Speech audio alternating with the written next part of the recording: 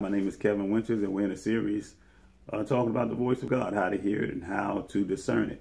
And one of the things I do in the beginning of every video, and I'm going to continue to do because it becomes more important to me every uh, every day that I uh, read through comments and different sites and, and run into people and discuss things with God about God, that y'all, you really need to find out what your Bible says.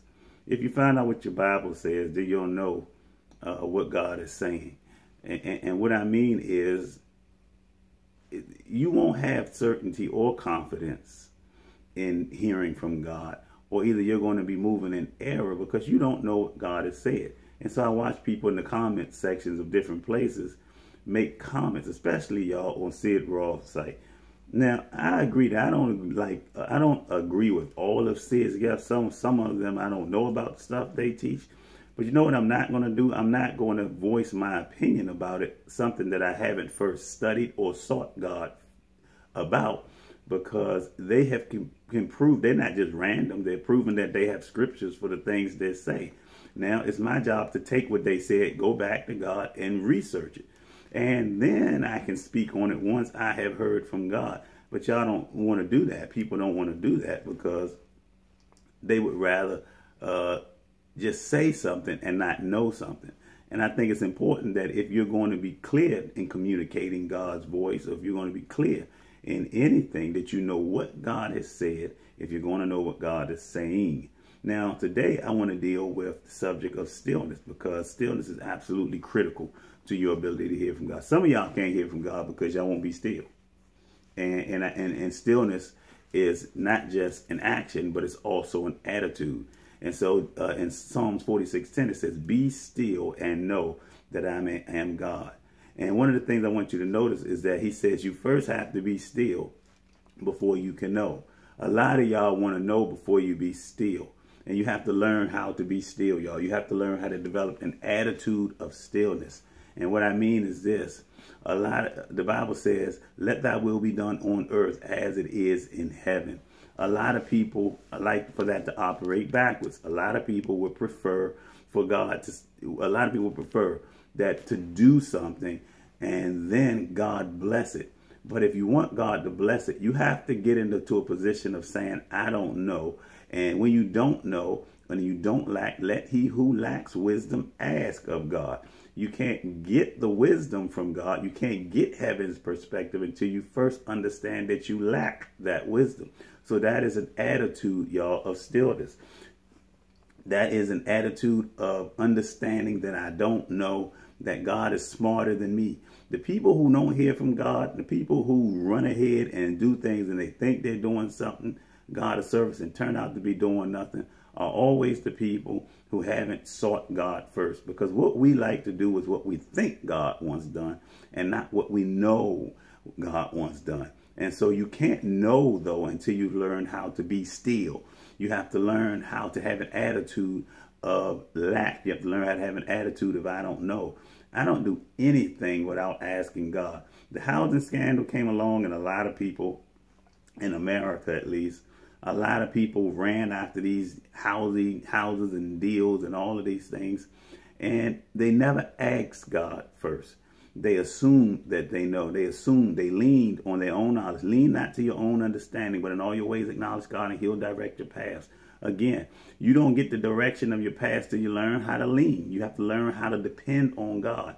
When you depend on God, you don't assume that you understand. You don't assume that you know. You don't bring any of your own resources to the table, but you allow God freedom in your life to speak to you in an area. And then what heaven says, you bring into the earth. But you can't bring heaven into the earth until you acknowledge that you have a lack. So the first part of stillness is understanding my need for God's wisdom, my need for his voice. And so we move when he says move. Now, I'm not telling you to be crazy and go to the grocery store and be standing there trying to figure out, Lord, what shall I choose, the cucumbers or the tomatoes? Uh, and I was at a point where I did actually do those kind of things. But I'm talking about giving God the place to speak. Uh, giving God place to speak. If you give God the place to speak, then what you're going to find is that God will speak. So that's stillness, having an attitude.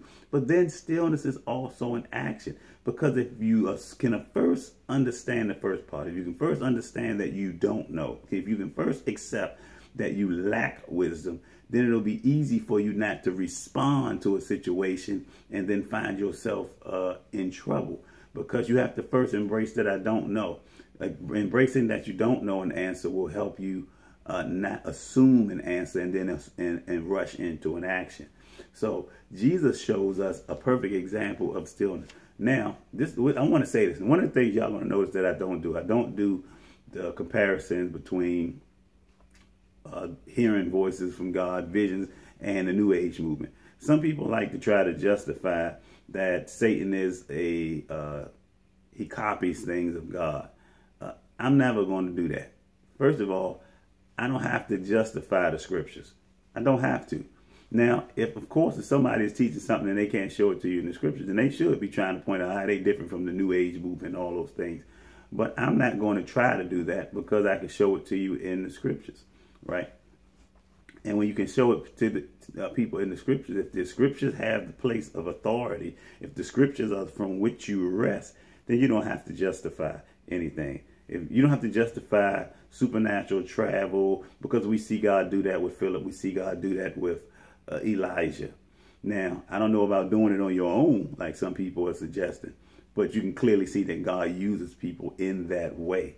And so I don't have to try to justify it and distinct make a distinction between that and, and the new age movement because the scriptures make that distinction for itself. I can trust what the scriptures say. I don't care about what anybody else says or does. Now, and that's because I've learned how to be still and depend on God. I depend on the scriptures. I depend on His truth. I depend on His value, and I depend on God's voice. And, and those things lead me to not move into an action. Now, the, again, the other part of stillness is learning how to physically be still, learning how to not move until you've heard from God. The other uh, part is learning how to still your thoughts. Now, what I'm not going to tell you to do is, is uh, first of all, let me get rid of one lie. Some people have a belief that if your mind is quiet, then you're going to hear from Satan. Satan can speak to you when your mind is filled. And so he says to Anan, uh, Peter says, Ananias, how has Satan filled your heart to speak to? I don't think they were meditating when they heard his voice. So don't buy into the lie that as long as I don't steal my mind, as long as I don't keep quiet, then I won't hear from God.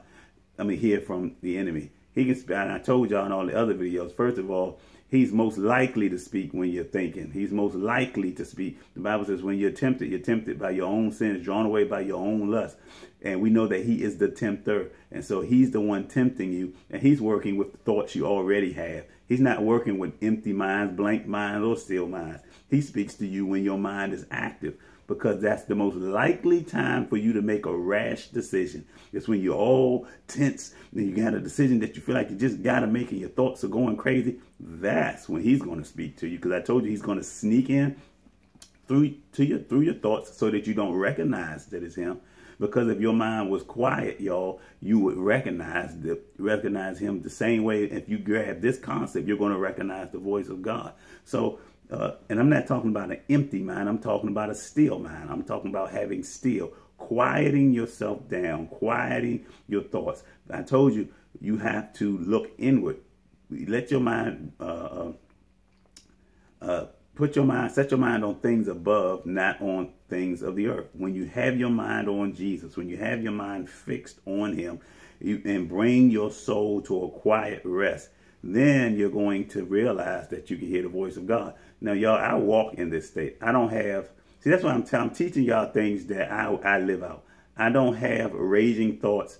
I don't have, uh, I got problems happening right now, and I don't have any thoughts about it. I don't have any, because I'm resting. I'm leaning on God. I'm depending on God. I'm, I'm, I've learned to depend on his wisdom. And so I can be still because I'm depending on his wisdom. I'm depending on his plan in heaven is going to work out for all things work together for my good. And understanding that allows me to rest. It allows me to uh, lean on his understanding and not my own. And so my mind is never racing with thoughts so that I can't hear. In fact, when it first started to happen, my mind became so still and so quiet that I felt like I was in a room by myself and I didn't even know how to react because I have been so used, and some of you have always been so used to so much noise in your mind.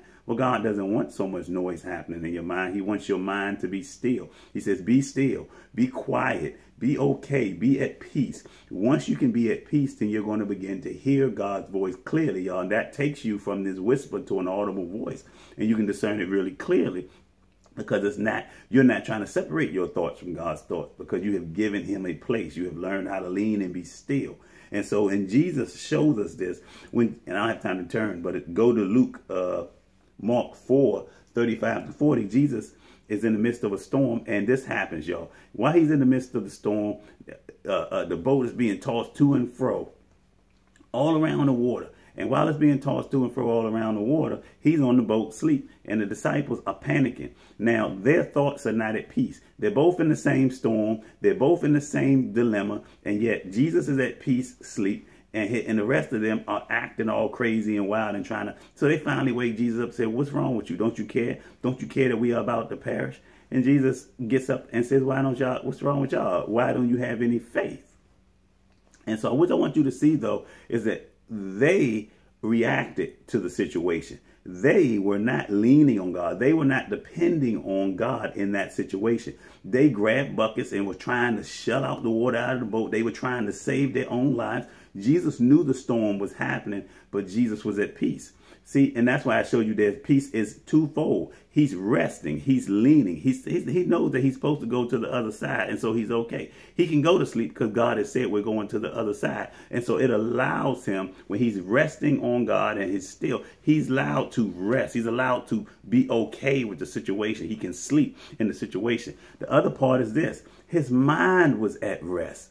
His mind was at rest, would allow his body to be at rest. He didn't have the stress that they had because his mind was at rest. And the Bible says Jesus does nothing without hearing, without, uh, only does what he hears and see the Father does. That's what he said, right? And then he gets up and rebuked the storm. So we know that if he got up and rebuked the storm, he rebuked it because he had heard or seen his father do it. And I believe that while he was sleeping, he was getting his instructions. While he was still, he was getting his instructions. While he was resting, while he was depending on God, while he was still, he was getting his instructions. And when he got his instructions, he was able to then react to the circumstances. And then everybody what? Knew. So he was still, then they knew that he was God. Then they knew the, the, hand of God. Then they knew the power of God. But it only happens when we first learn to be still. So stillness is this, y'all. Stillness is learning how to depend on God. Learning how to get up every morning and go to prayer. Don't bring your own thoughts and ideas. And just sit quietly and wait. Ask God a question and listen. Wait for it. Ask him. Talk to him about your circumstances and listen. Don't assume anything. Don't bring your. Don't let your mind go all haywire with all kind of crazy thoughts because that's the likely time when Satan is going to speak. He's not going to speak when it's quiet because you're going to hear him and he doesn't want to be recognized. He's going to speak when your mind is full of thoughts, not when your mind is quiet. When it's quiet, then God is going to speak because the Bible says, "Be still and know." You won't know that it's God speaking to you until you're still because you won't be able to recognize him among all the crazy thoughts that are happening. So you need to allow your thoughts to settle down, be still, and then you're going to find the voice of God is right there.